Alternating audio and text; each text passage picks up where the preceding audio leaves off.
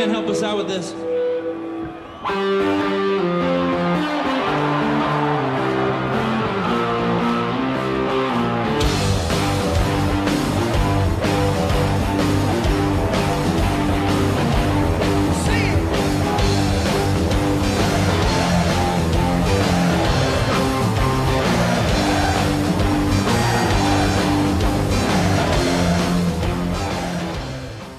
Who are you? Patrick, From? the Black Keys. And Patrick, who'd you have beside you? Dan. Hello, Dan. Hello.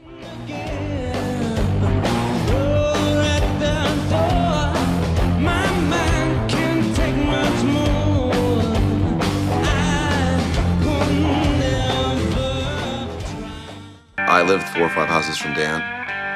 We like trade baseball cards and like play wiffle ball, like all the neighborhood kids. But other than that, him and I didn't hang out.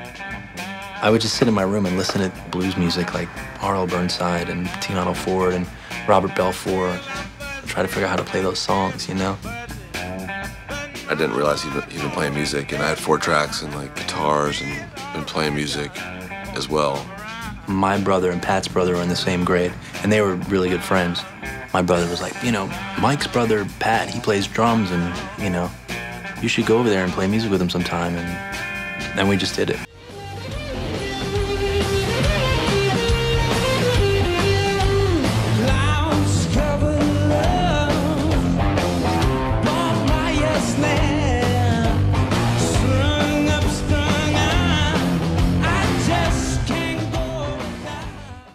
Somehow, like he just came down one day with his guitar.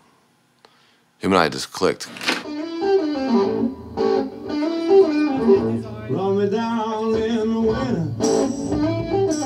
Pat had a four track, and I would go, I would carry my amp and guitar to his place, and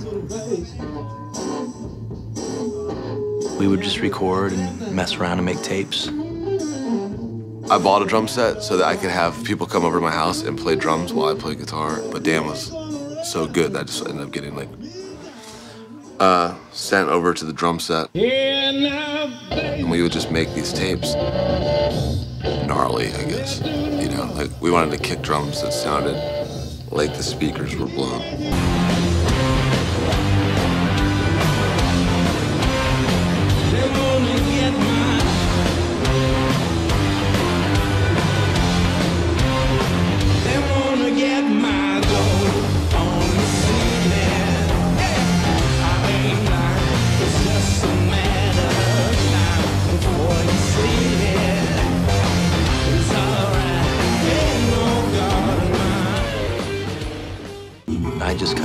Old songs that I'd been playing in these clubs, kind of like bastardized them, chopped them down, and had Pat play drums to them. I actually hadn't even played drums in like a year and a half or two years until that day. And at the time, I wasn't really sure like what, what it was. Like it wasn't like we were starting a band. What you're hearing is like two guys just completely making it up on the fly. And it was fun.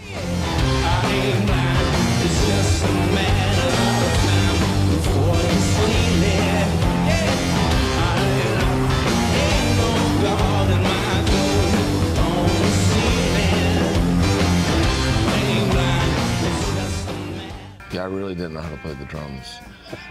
Truly, I found Our first show that we played, his drums just like exploded. fell apart. Everything fell apart. Like it just exploded. There were drums and parts everywhere, What did you do? all over the stage. We both dropped out of school because we were terrible at it. And um, not high school, but college. And uh, we both are obsessed with music. We both are hard workers, you know. So we we realized in 2002, basically that um, if we took the band seriously and put a lot of work into it, that we wouldn't have to do jobs that we don't like if we if we were lucky.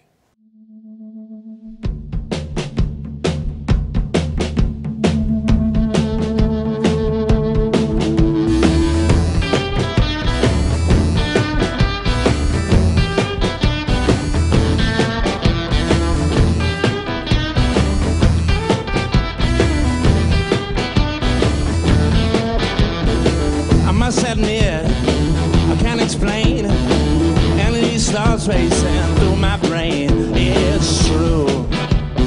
Baby, I'm howling for you. The songs typically were recorded on just the second or third take. It feels like every time we work on something for, for too long, it just we we lose it. You know, it just gets worse. What is it you lose, do you think? The magic, the thing that you don't have to think about to get. That's the cool thing.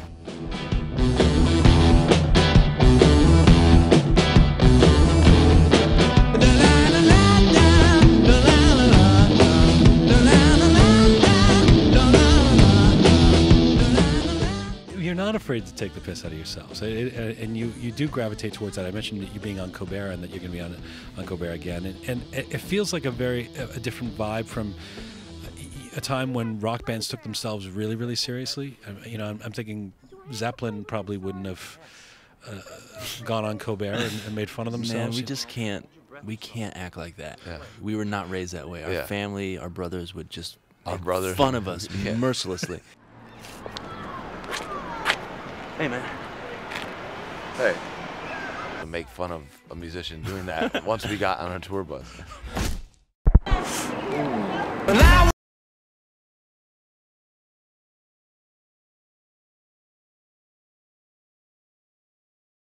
point where the Black Keys got kind of too big.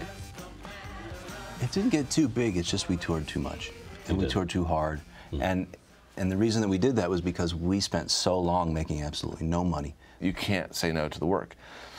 And it, the shows are a lot of fun. It's addictive. The problem is, is you start gradually just whittling down uh, like your psyche and what you're able to process.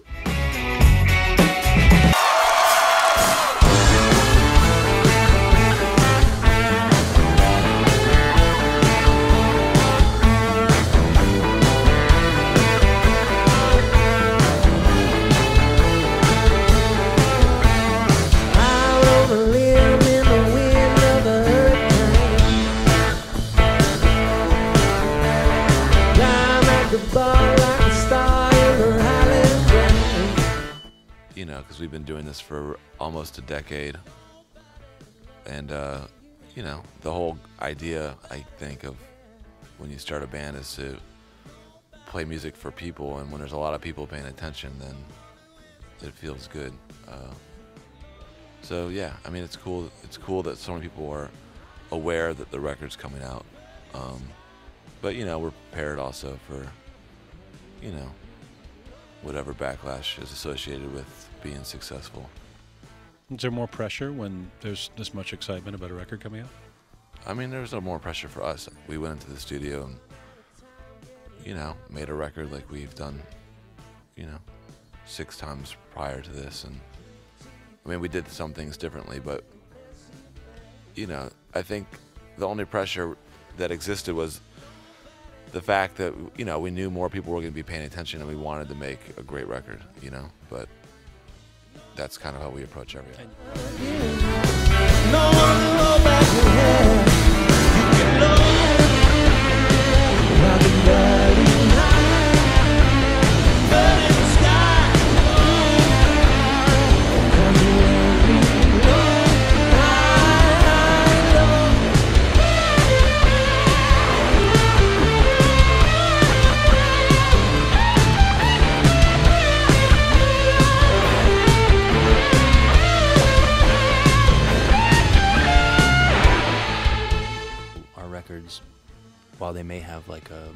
Motown beat or like a garage rock fuzz guitar line, they still have modern day like hip hop low end. Like I said, we, we just love so many different types of music. Right. We just kind of take all these things that we love and and filter them through our dumb brains and you know come up with our records basically.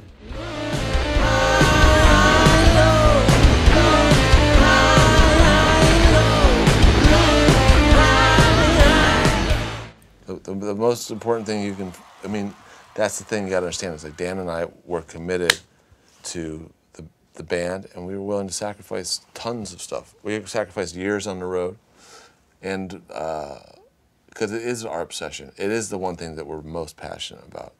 And back when we quit our jobs and decided to do this as our career, uh, we were making like $50 a night I, I was living in a place that cost $140 a month, and Dan was still living with his folks. Mm-hmm. So we didn't have to make much money. We practiced in my basement.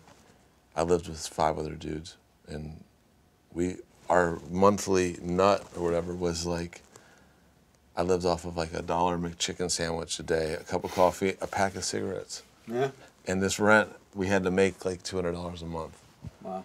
So what we did is we just played as many fifty dollar shows as we could, basically. Sold some T-shirts and just kept going, uh, and we never stop. We got just a couple more songs to play. You still with us? Can you help us out with this one? Can you help us out?